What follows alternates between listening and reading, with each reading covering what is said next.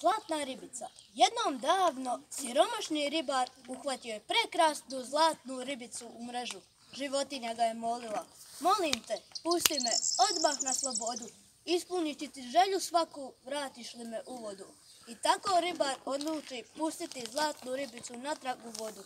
Zamoli je da pričeka blizu obale. Odjurio je kući da se posavjetuje sa ženom. Što da traži od ribice? Pošto su živjeli u rušenoj kući, žena je bez otljevanja rekla Ova kuća je strašna, traži kamenu. I tako se ribar vrati ribici sa ženinom željom. Ribica je odgovorila, tako će i biti. Kada se muž vratio kući, umjesto njihove stare trošne kolibe, ugledao je prekrasnu kamenu kuću sa punim vrtom voćaka. Ženi se ne, žena se nekoliko dana činila zadovoljno, do jednoga jutra. Ako nije veliki problem, traži dvorac golem.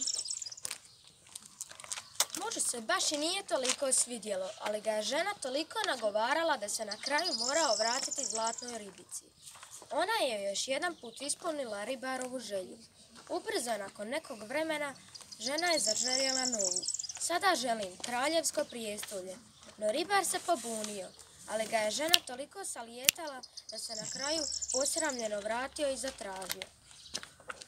Pomalo ljutita, zlatna ribica, ispunila je tu želju, da čak ni prijestolje nije bilo dovoljno za ribarovu ženu.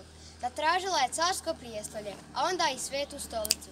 Ribici je dozlogrdilo ispunjavati ženine prohtjeve i već se umorila, no osjećala se dužnom ribaru i dalje ih ispunjavala.